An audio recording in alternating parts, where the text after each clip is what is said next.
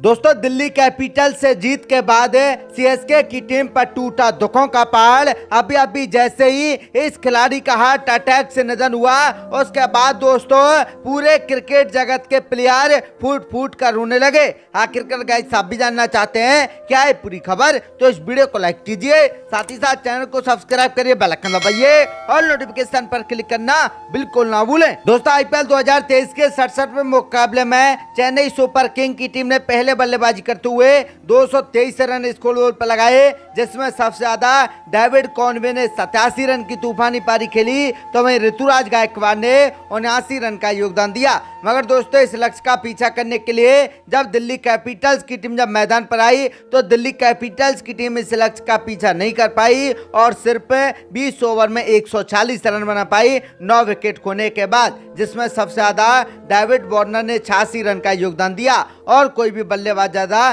कमाल नहीं कर पाया। मगर दोस्तों, चेन्नई सुपर किंग की ओर से गेंदबाजी कराते हुए सबसे ज़्यादा दीपक चाहर ने तीन विकेट चटकाए और इस मुकाबले को चेन्नई सुपर किंग की टीम ने